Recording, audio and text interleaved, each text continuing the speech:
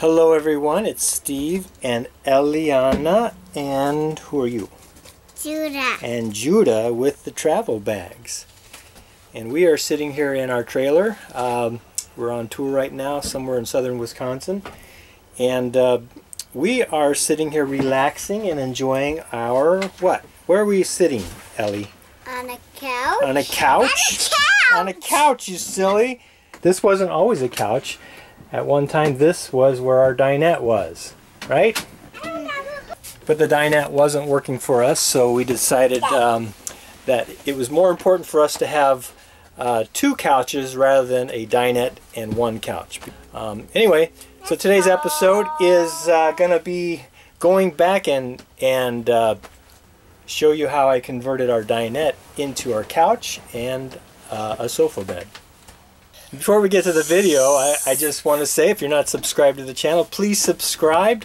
Tick the little bell notification button to be notified when new videos come up. And also make sure you like this video and, and leave a comment if you uh, uh, enjoyed it.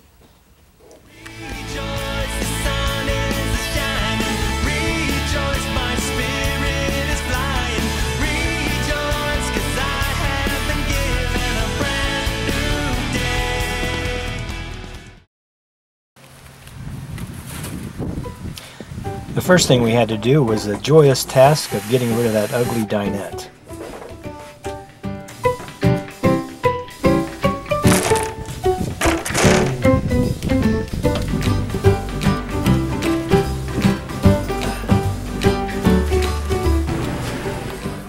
Found all kinds of cards that were probably missing. Stuck down behind the dinette. The disc. There's a postcard. Oh, the Care Bears too. Ah! Ooh, Jamestown. We, we've been there.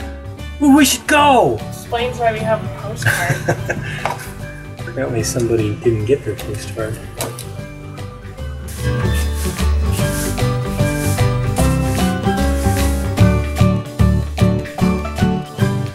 Now that the space was clear, I had to finalize my design and how I was going to actually build this couch. The first thing I did was repurpose the table. Uh, we didn't want to not have a table, so what we decided to do was, with this table, was to cut it in half and make two small tables that would mount in front of the couch. And then we could set it up and take it down anytime we wanted to.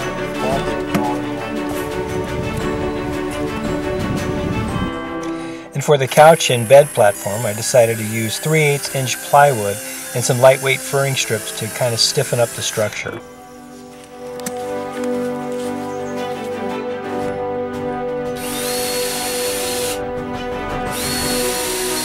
And this actually made for a pretty strong but lightweight structure.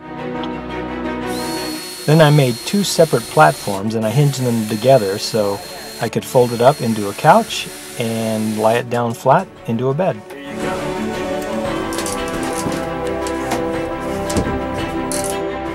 I was really engineering this uh, couch as I went along, so I got Elizabeth to just help me out and test out the angle of the back of the couch, make sure it was comfortable.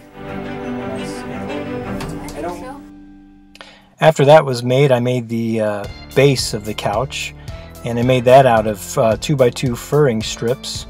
Uh, like I said, I wanted to, I was going for a balance between lightweight and very strong. So, and I think I came to a nice balance there uh, with the furring strips to uh, form the base of the couch and the bed.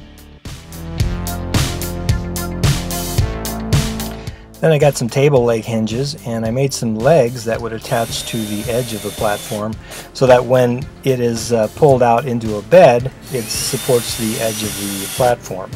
And, but they also had to be retractable so they would be up and out of the way of the drawers that were underneath of this platform. Um, and they're pretty easy to operate. They go up and down fairly easily and they, uh, when they're down, it really makes it quite a solid platform and a solid bed. Next I made the armrest um, that would have cup holders and also this would be the storage area for the tables that I was going to make.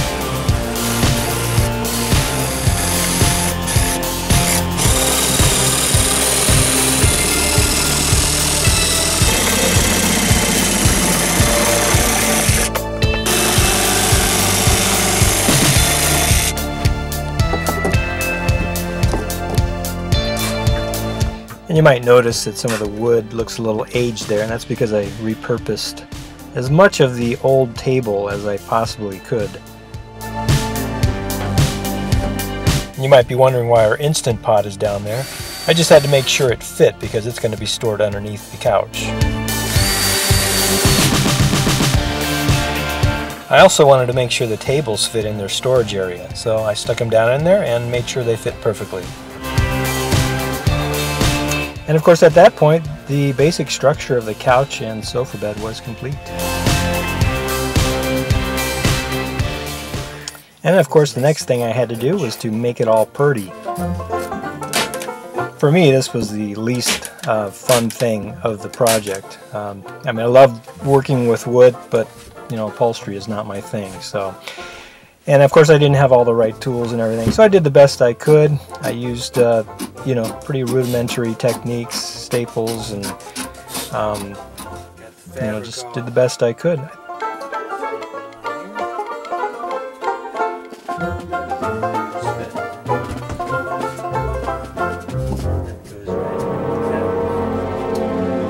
For the cushions, I got upholstery foam from Amazon.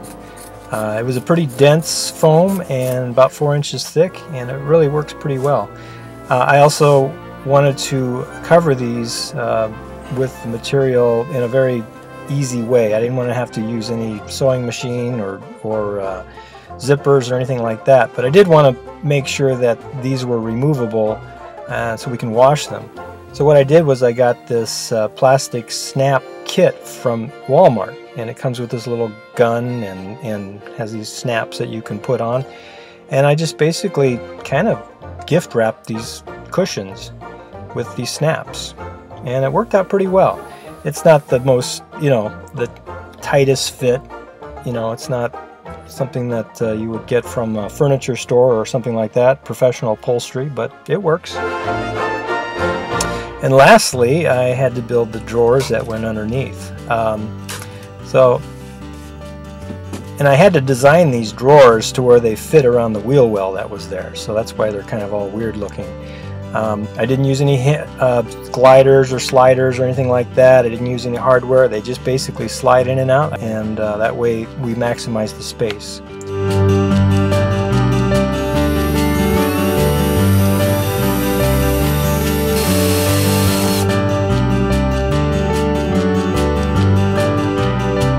And that was pretty much it.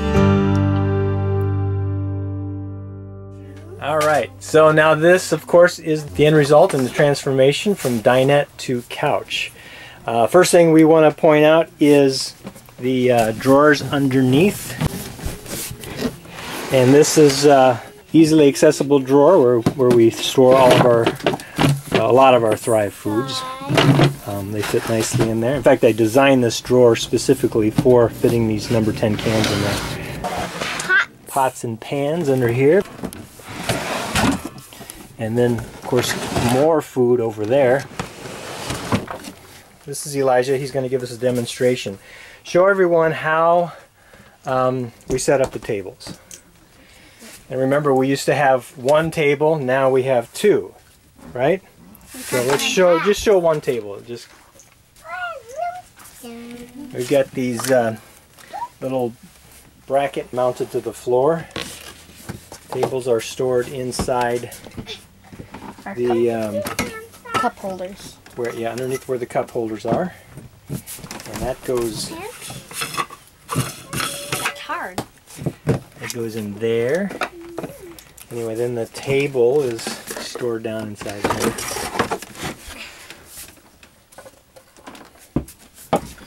And it's got this little mount underneath it. And that's it. And so now, instead of one big table, we have two tables. As the other one goes over here, um, and that one is stored in there. Then, of course, when we're done using it, it's just as easy to put it away as it is to uh, um, Take it out. take it out.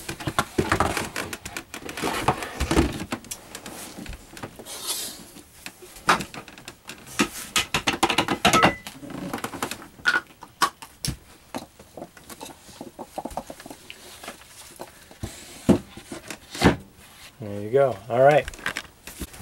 All right, next thing, Elijah's going to show you how his bed is made. We've got these, um, he's got to put the legs down first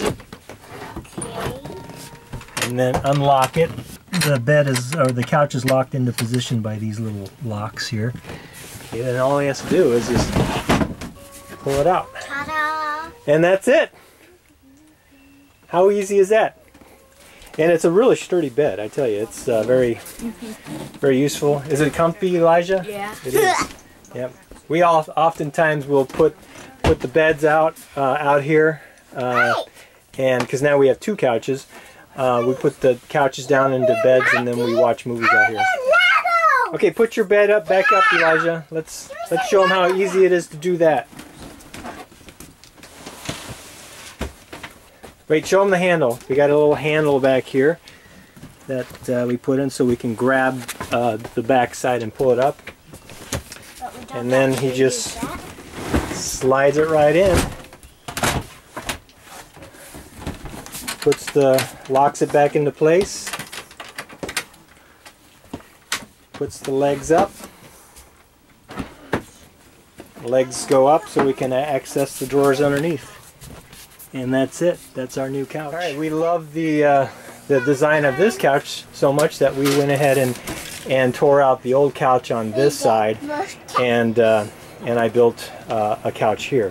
Now this side was uh, th this couch over here was the actual jackknife couch that came with the trailer, and um, it was just getting disgusting. It was rusting. It was you know getting wet and moldy and mildewy, and the uh, storage there really wasn't any storage underneath here. So um, we stored stuff underneath here, but it really wasn't, you know, meant to be storage. So I built these little.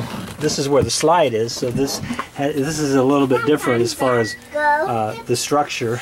Um, so, but I built these little drawers that can be easily uh, slid out. We, we use it for shoes and things like that. And then, of course, the slide mechanism is underneath there, and so it has to be accessible. So that's why these things just kind of slide on the floor in and out. Another thing that I was able to um, do is, hey Ellie, why don't you get up and then show them, let's show them where we store the piano. I repurposed the um, some of the wood from the dinette, and I built this little area back here, this little shelf area behind the couch, and this is where we store our keyboard. So it sits down in there and it's easily accessible. Go ahead and put the, the lid back on, Ellie. Uh, and that thing just pretty much just pops in there and that's it. So and then of course the girls have some, some more room to store some of their stuff on top of that. Their stuffed animals and things like that. So anyway, that's that's our couch. So now we have two couches, right?